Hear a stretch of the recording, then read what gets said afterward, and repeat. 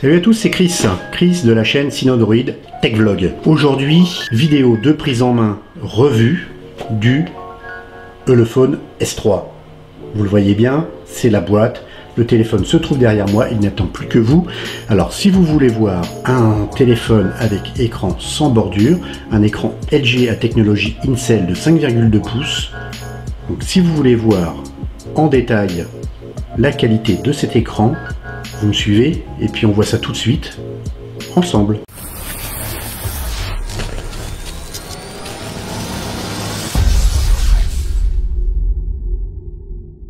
Alors le voilà ce S3 à écran sans bordure de la marque LG, un écran donc je le rappelle Full HD avec technologie Incel. Incel étant juste la partie tactile et la partie LCD collées ensemble, ce qui fait normalement qu'une surface d'écran plus légère et avec un tactile beaucoup plus réactif. Donc pas besoin de taper comme une brute. Je vous présente le téléphone tout de suite après avoir regardé la boîte très rapidement. C'est juste pour vous montrer que voilà, boîte en plastique façon un peu une époque Samsung. Euh, un support pour téléphone avec un trou pour la caméra, ce qui est un bon point, c'est évite à la caméra de s'esquinter. Un chargeur de 2 ampères, vous le voyez, et un câble USB, micro USB, et non pas de type C sur ce smartphone, avec fait rigolo, c'est qu'ils ont mis en fait un décimètre sur, ou même un mètre, hein, je crois, euh, un mètre. Bref, euh, sur le câble USB d'une belle couleur et d'une très belle finition en plus. On va regarder donc tout de suite le téléphone. Alors, le téléphone, il est déjà démarré, il y a déjà pas mal d'applications d'installer pour les tests futurs à effectuer. Il y a même le lecteur d'empreintes qui est configuré, donc je vous le montre. Voilà, il répond tout de suite, ce qui est un excellent point. Alors, vous le voyez, je vais me remettre sur la page principale, c'est l'intérêt, c'est cet écran. Alors déjà, avant l'écran, on va faire le tour de ce propriétaire qui est le S3, avec un châssis qui n'est pas sans rappeler euh, le Yumi Super finalement, un châssis très très très bien fini, avec les bords donc vous le voyez parfaitement biseautés, il n'y a pas de forme bizarre dessus, c'est vraiment très très beau, un, beau smartphone. Hein. Très honnêtement, il y a une vraie progression dans la finition chez Elephone, je trouve. Euh, le P9000 m'avait laissé un peu euh, sur ma faim avec euh, sa coque arrière qui se retirait. Bref, c'était assez bizarre. Surtout une coque en plastique. Bon, c'était un peu, un peu étonnant comme finition pour un smartphone qui se voulait un flagship. Euh, là, celui-ci, je trouve très personnellement qu'il est vraiment digne d'un flagship. Et a donc à l'arrière la caméra de 13 mégapixels qui est une Sony, le capteur IMX 135, donc un capteur normalement de bonne qualité, un une simple LED pour le flash, le lecteur d'empreintes, et vous avez ici un tout petit trou qui est le micro de compensation lorsque vous faites des vidéos le logo Elephone qui est parfaitement inséré dans le dans la couche en fait dans la surface métallisée. Les séparateurs plastiques en haut et en bas pour les ondes. Donc les boutons plus volume plus moins le bouton power on off avec des vrais clics. Voilà je vous les ai fait entendre. Normalement c'est bon. Ensuite vous avez le tiroir ici voilà, un tiroir qui s'ouvre parfaitement. Voilà, donc il s'ouvre parfaitement. Alors un tiroir léger, certi, certes. Bon, maintenant ça reste un téléphone à 170 euros, hein. donc il euh, ne faut pas non plus demander la lune, mais euh, voilà, vous pouvez y mettre deux micro SIM ou une, une micro SIM et une carte micro SD. Donc voilà, ça c'est un bon point. Mémoire extensible et il s'intègre parfaitement, il, se, rentre bien, donc euh, non vraiment, très très honnêtement, chapeau, il y a une symétrie parfaite sur le dessous, six trous de chaque côté pour bah, bien sûr, il n'y aura qu'un côté où vous aurez euh, le son hein, pour le haut-parleur, mais une symétrie quasi parfaite, sauf en façade en haut. Euh, bref, vous avez une lettre de notification, vous la voyez, elle clignote, voilà. Donc, eh bien, écoutez, on va regarder l'écran. L'écran qui est euh, très honnêtement, je trouve magnifique. Alors ça, c'est vraiment le point, le point positif de ce téléphone. C'est son écran LG sans bordure. Alors, sans bordure, je, je, oui, mais alors il est tellement, comment dire, arrondi que je ne sais pas si vous le voyez à l'écran, mais vous voyez, ça fait cet effet. Alors je prends le petit outil là. Vous voyez cet effet de double arc, comme si il y en avait un en dessous. Voilà, ici. Et cette bordure en fait arrondie est très arrondie. Donc la lumière en fait qui arrive sur cette dalle de verre ici fait que vous voyez la courbure extérieure à l'intérieur. Normal, hein, euh, effet de lumière sur du concave, mais ça fait bizarre au départ lorsque vous regardez en fait l'écran, mais vous le voyez très clairement. Voilà, il y a vraiment, euh, je suis tout de suite sur euh, la dalle de verre, là, voilà.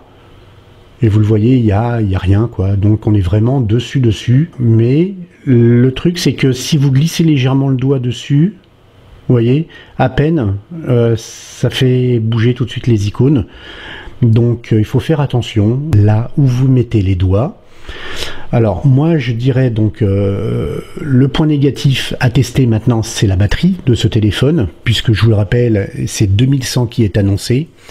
Ça me paraît vraiment vraiment léger. Et l'autre point négatif c'est l'interface des boutons Android parce qu'il n'y a aucun bouton d'intégrer ici sur le bas.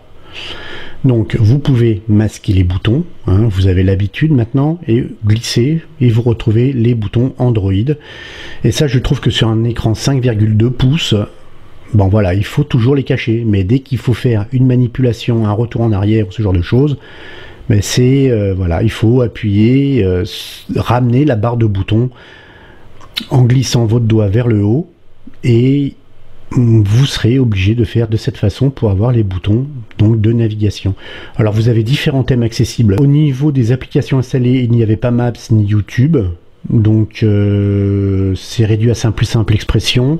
Vous le voyez, l'interface Android est customisée, customisée à la sauce le phone mais customisé légèrement. Hein, c'est pas une ROM, c'est juste une customisation légère. La seule chose qui va vous manquer, c'est le bouton toutes les applications et vous avez X pages pour mettre toutes vos applications. Donc ça, ça peut être le point négatif pour certains. Moi, je sais que personnellement, j'aime pas trop, mais bon, voilà, on s'y fait aussi. Sachant que là, on va s'y faire, on s'y fait rapidement puisque vous avez quand même cet écran qui prend largement le dessus. Vous le voyez, des couleurs, mais alors. Euh, comment dire, chatoyante pour être euh, bien dans le texte, mais des couleurs qui pètent, quoi. C'est juste superbe. Vraiment un très très bel écran. Je me rapproche à nouveau pour vous montrer donc les bordures et le détail en fait de cette courbe. Vous, vous la voyez. Un écran très très très courbé sur les côtés. Enfin, tout autour d'ailleurs, hein, mais euh, voilà, un écran très courbé un 2,5D presque 3D. Hein. Donc un angle de vision, vous le voyez, juste impressionnant parce que l'on voit toujours une finition vraiment parfaite. Et ce que je vous propose, c'est de regarder une vidéo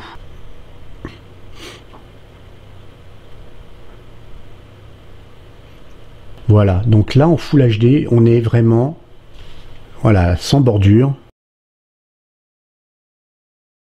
L'intérêt vraiment de ce téléphone, alors c'est pas son processeur, c'est pas sa ROM, parce que 16 Go, bon c'est dommage, je trouve ça léger. Ils auraient pu mettre 32 et là on aurait eu un téléphone, mais vraiment euh, le haut du panier euh, des 5 pouces. Parce que là vous voyez vraiment que l'écran, c'est vraiment la force de ce S3. Ok, alors, je pense que vous en avez assez vu. Euh, maintenant, L'intérêt que je voyais en fait à vous présenter tout de suite la revue, c'était euh, vraiment l'écran. Donc là où je voulais continuer avec euh, ce S3, c'était avec la caméra, parce qu'ils annoncent une caméra au top, a priori très bien réglée. Sachez que dès sa mise en route, il n'y a eu aucune mise à jour, pas de mise à jour OTA pour le moment encore. Donc je le rappelle, caméra Sony IMX 135 de 13 mégapixels, et on va regarder tout de suite ce que ça donne avec ce capteur pour la partie donc caméra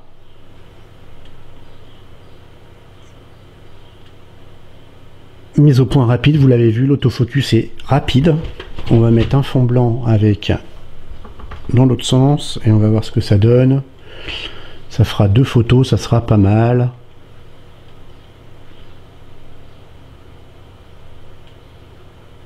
Vous l'avez vu? Voilà. Vous avez vu l'autofocus rapide?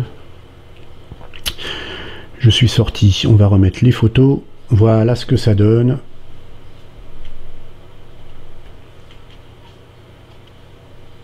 Je préfère me rapprocher si j'y arrive. Voilà. Sur la photo et qui montre une netteté des couleurs qui plus est en plus vraiment super éclatante. Hein. Il y a vraiment pas, euh, n'y a pas débat sur ce capteur. Je vais me mettre ici, tiens, un peu plus près. Ou alors on va appuyer, on va voir ce que ça fait. Mise au point, vous avez vu, j'appuie. La mise au point est rapide et se fait directement dès que vous appuyez sur l'obturateur pour prendre la photo. Alors, couleur flashy, hein, il n'y a pas photo. Donc, euh, ça c'est l'origine. Voilà, ça c'est l'origine avec la lumière que vous voyez, hein, euh, les projecteurs dessus, ici. Voilà. Et vous voyez que c'est très très bien rendu. Ici, les métallisés, la queue ici du phénix avec toutes ses couleurs. Bref, euh, tout ceci est plutôt plutôt plutôt pas mal du tout. On va se lancer dans le grand test de ce téléphone. Donc le S3 qui euh, fait une très très très bonne première impression pour cette première prise en main. Et d'ici euh, une huitaine, à peu près comme le Yumi Super pour la vidéo précédente, hein, dans une huitaine, une dizaine environ, on montrera en fait euh, les résultats du grand test, grandeur nature, caméra en ville, euh, partout. Je propose la caméra comme option pour faire des belles photos. Bref, on va tester tout ça, on va tester le GPS, euh, voir si tout suit, parce que c'est bien d'avoir un bel écran, mais si le reste ne suit pas, c'est pas très utile. Donc, on va en finir avec cette prise en main du S3. Si la vidéo vous a plu, n'hésitez pas à nous mettre un petit pouce en l'air, à nous mettre un commentaire pour nous dire ce que vous pensez de cette vidéo de prise en main du format et aussi du téléphone. Bref, moi je vous dis, portez-vous bien, faites bien attention à vous, et puis à la prochaine. Allez, je vous dis à bientôt. Ciao